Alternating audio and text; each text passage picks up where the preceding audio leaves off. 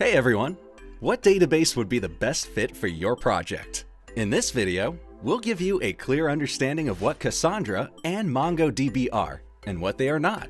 On this channel, we share our experience and insights in the world of tech.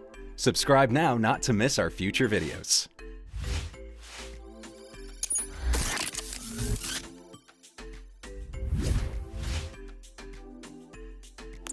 We'll start with refreshing some basics. SQL versus NoSQL. The borderline. So, the SQL category includes relational databases manipulating data with structured query language. NoSQL databases resolve existing scaling and accessibility issues, characteristic of traditional relational databases. Want to know about the differences between relational and non-relational databases? Find the link to the article in the description box. SQL and NoSQL databases are in no way better than one another. All individual databases differ a lot, even inside each category. Pause the video and look at our cheat sheet to draw a general borderline between SQL and NoSQL. So what about our view on Cassandra versus MongoDB? They are both enormously scalable, high-performance databases belonging to the NoSQL family. Yet, these two are radically different. Cassandra Database is designed to manipulate huge data arrays across multiple nodes. In contrast to the relational database organizing data records in rows, Cassandra's data model is based on columns to provide faster data retrieval. MongoDB database stores data in the form of JSON-like documents, instead of table records used in relational databases. It allows faster data integration, it is interesting to draw a parallel between MongoDB document-oriented data model and that of traditional table-oriented SQL database. Both Cassandra and MongoDB enjoy popularity among thousands of well-known and highly reputed organizations, like Reddit, Facebook, Netflix for Cassandra, and Forbes, Google, Cisco for MongoDB. So let us list their similarities we notice. They both belong to the NoSQL family, they are not ACID compliant. They are open source. They are both cross-platform solutions and support a variety of Windows and Linux. The best thing is that they support Mac OS platforms. Don't you agree? Drop your comment right now. Okay, let's move on to their key differences. Data model. Cassandra, the data model is structured similar to tables with rows and columns. In MongoDB, the data model is unstructured.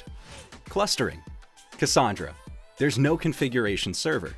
MongoDB, Mongo Master, Mongo Shard, and Mongo Config servers participate in data replication under the management of Mongo Daemon Server. High Availability Strategy Cassandra, multiple master nodes in a cluster provide 100% availability, even if the leading node goes down. MongoDB has a master-slave model. It takes 10 to 50 seconds from a slave node to take the master's role. Write speed Cassandra. Multiple master nodes accept writes in parallel, each so you can increase the write capacity. MongoDB. The write capacity is limited, since data writes go to a single master node. Query language. Cassandra query language with syntax is very similar to SQL. MongoDB, a query interface based on JSON formatting. Which database is right for your business? We have done a lot of experimenting with these two databases, and every time we came to the same conclusion.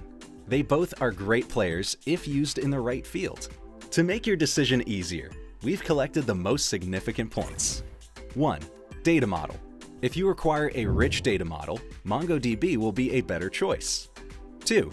Index querying. If most of the querying in your application occurs by the primary key, Cassandra is a good choice. If secondary indexes and flexible querying by them is a primary requirement for you, then choose MongoDB. 3. Availability.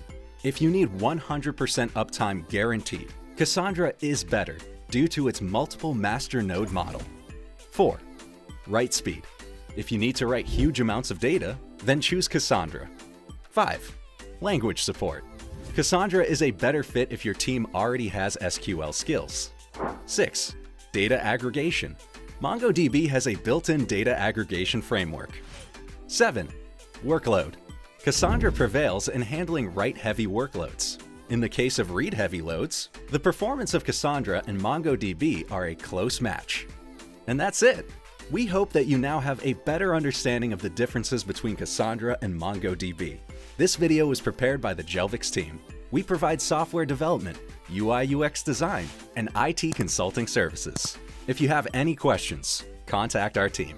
We promise new videos with the latest technology news and inspiring solutions. So subscribe not to miss them. Hit the bell button, like this video, and stay tuned.